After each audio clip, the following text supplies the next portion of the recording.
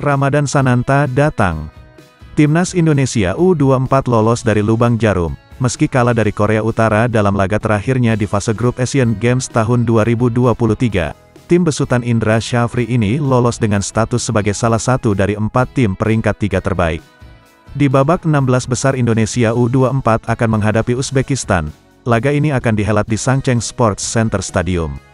Pada laga ini Indonesia U24 akan mendapat tambahan amunisi yang sangat berharga. Penyerang andalan mereka Ramadan Sananta bisa bergabung dengan tim. Kehadiran Sananta dipastikan akan mengubah starting si Indonesia U24. Jika kondisinya fit penggawa Persis Solo ini hampir bisa dipastikan akan menjadi andalan Indonesia U24 di lini depan. Selain Sananta ada sejumlah pemain lain yang bisa menjadi pilihan pertama Indra Syafri untuk menghadapi Uzbekistan. Bagaimana perakiraan susunan starting si Indonesia U24 pada laga kontra Uzbekistan dengan kehadiran sosok Ramadan Sananta?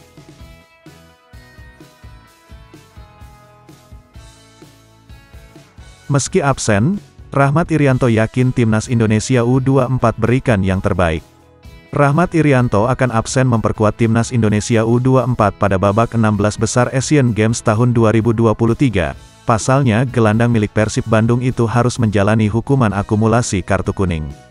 Skuad Garuda Muda akan melawan Uzbekistan pada babak 16 besar. Menurut Rahmat Irianto Uzbekistan bukanlah lawan yang mudah untuk dikalahkan. Namun ia yakin rekan-rekannya bisa menaklukkan tim asuhan Timur Kapas itu. Dia berkata jelas enggak mudah, tapi harus optimistis karena bola itu bundar, tetap berikan yang terbaik saja. Pemain yang akrab di Saparian ini juga mengomentari kehadiran Ramadan Sananta di Timnas Indonesia U24 jelang babak 16 besar. Menurut Rahmat Irianto bergabungnya Ramadan Sananta akan menambah kekuatan Timnas Indonesia U24 terutama dari lini serang. Ramadan Sananta sangat membantu karena kemarin kami kehilangan sosok penyerang.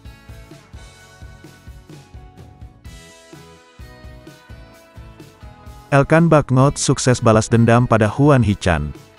Elkan Baknot sukses membalas kekalahan atas Huan Hichan pada laga 32 besar Carabao Cup, pemain timnas Indonesia itu membalas kekalahan yang dialami pada musim lalu. Ipswich Town berjumpa Wolverhampton pada babak 32 besar Carabao Cup di Stadion Portman Road, sempat tertinggal dua gol, Ipswich Town menang dengan skor 3-2. Wolves yang lebih diunggulkan menang memulai laga dengan sempurna, pada menit ke-15 mereka unggul 2-0 lewat gol Juan Hichan dan Totti Gomez, namun sebelum babak pertama usai, Ipswich Town mampu membuat skor menjadi 2-2. Jack Taylor akhirnya membuat skor menjadi 3-2 lewat golnya pada menit ke-58. Elkan Bakngot sendiri bermain penuh pada duel kali ini. Dua pemain Asia Elkan Bakngot dan Juan Hichan bermain sejak menit awal pada duel Ipswich Town dan Wolves.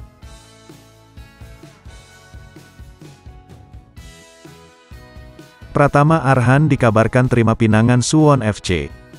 Back Timnas Indonesia Pratama Arhan dikabarkan bersedia menerima pinangan klub Korea Selatan Suwon FC. Kabar ini diklaim oleh media Korea Selatan Chosun, Suwon FC sendiri adalah peserta kasta teratas Liga Korea Selatan tahun 2023 yang sementara menempati peringkat ke-10 dari 12 kontestan dengan 29 poin dari 31 pertandingan. Sejak bergabung dengan Tokyo Verdy pada tahun 2022 Pratama Arhan bahkan jarang masuk skuad, pemain berkaki kidal itu baru bertanding empat kali dengan jumlah 256 menit. Chosun mendapatkan informasi terkait rencana kepindahan Pratama Arhan ke Suwon FC dari seorang pejabat yang mengetahui bursa transfer Liga Korea Selatan. Suwon FC hampir merekrut pemain timnas Indonesia Pratama Arhan. Kesepakatan telah dicapai dengan Arhan. Arhan berstatus bebas transfer, Detailnya rencananya akan diumumkan dan segera diselesaikan.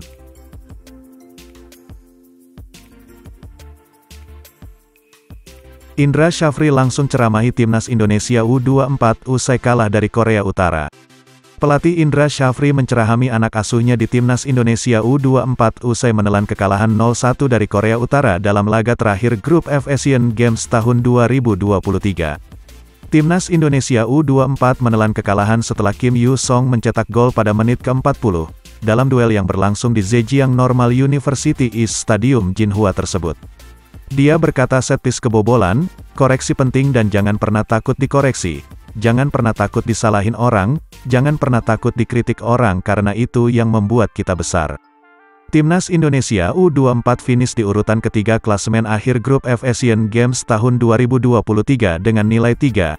Adapun Korea Utara menjadi juara grup F dengan 9 angka, dan Kirgistan sebagai runner-up karena unggul agresivitas gol atas Timnas U24.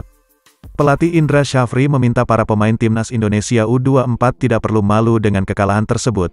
Menurut Indra para pemain sudah tampil bagus sepanjang laga dan hanya kalah tipis dari Korea Utara.